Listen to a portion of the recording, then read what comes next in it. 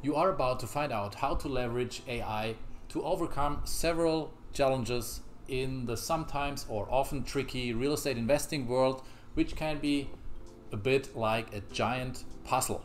So, in the investment game, you've got to figure out which properties are gems and which ones are just stones. And it's not just about gut feelings, you need solid info to back your choices. Now, picture yourself in a city full of opportunities. Every building, every street corner could be your next big win. But it's not as easy as picking a spot on a map. Just to name a few challenges, fixer and flippers need to find properties priced low enough to make a profit after renovations. And as a wholesaler, you have similar challenges to find properties at a discount so you can assign the contract to an end buyer for a fee. When you wholesale lease options, you deal with more complex deals, so you need to educate sellers and buyers more about the process. As an investor using the BRRR method, your challenges are likely capital management. You need to get enough capital to purchase and renovate, but also have reserves for unexpected expenses. There are, of course, several other active real estate investing strategies that have all more or less similar challenges. All have several challenges in common that revolve around market knowledge, financial management, time management, regulatory compliance, and adapting to changing circumstances. Now imagine you're still playing this game the old way. So you're buried in spreadsheets trying to make sense of a lot of data to find the perfect deal, or you use classified ads in newspapers, public records, and courthouses and trust your gut to lead the way. With this approach, you may miss out on a great deal because it is hidden behind complicated data. Or you may think you have found a sure win, but then later it turned out to be a dud. Now, with the proper AI tools, you can turn tables.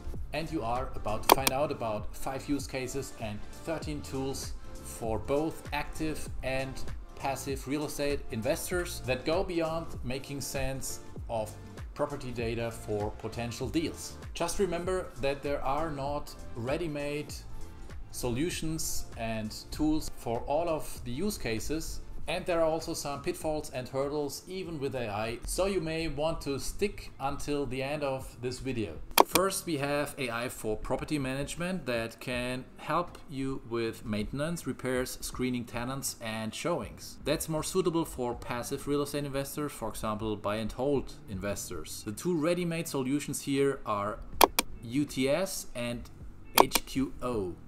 Next, there is the AI use case of market research, for example, for new marketing, collateral, property scouting, entering new markets, and legal information.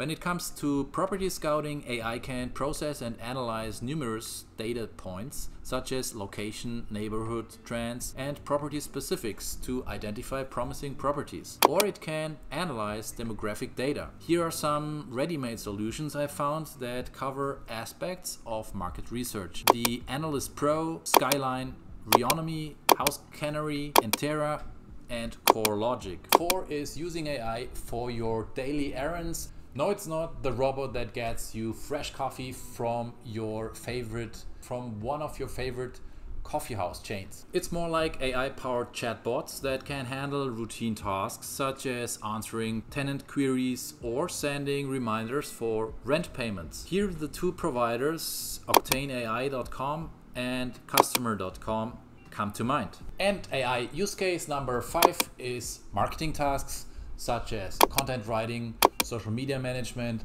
website conversion optimization, and PPC ads, for example.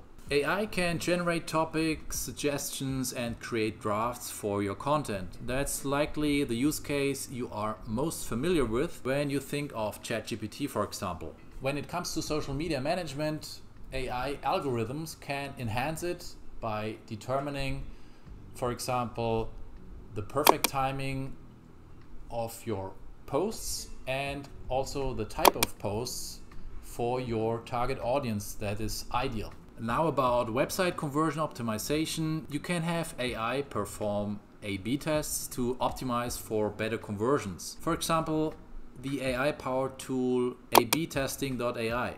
Wow, pretty unique name, isn't it? Well, actually, it's not that bad. And now about the pitfalls and hurdles because not all is hunky dory. AI systems need a lot of data and breaking points are usually connected with human beings. So if human beings feed them with the wrong data, it can lead to privacy and security issues. Remember, those systems are only as good as the data you feed them with. Say a buy and hold investor or his property manager starts inputting tenant data into a fancy AI system, but he treats it like his old ledger, jotting down not just names and rent amounts, but also personal tidbits like who's late because they are a forgetful artist or who argues about the heating because they're from a warmer climate. The AI fed with those personal anecdotes may start sending pretty weird messages such as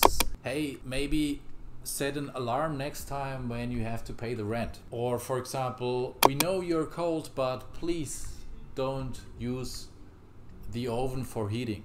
Stuff like that. Or when it comes to relying on AI to decide on a potential deal, many in real estate may not fully grasp AI technology and this can lead to mistrust. Well, I mean, even I wouldn't blindly trust AI to make a six or seven figure investment uh, investment decision. So this is of course understandable and that's why I think AI in real estate investing and in other real estate areas won't get a full integration into all kinds of business operations where there are high stakes. I think the most beneficial will be using AI for all things marketing and also to analyze potential deals. And if you want to leverage AI to forecast future housing markets, you may want to check out the next video.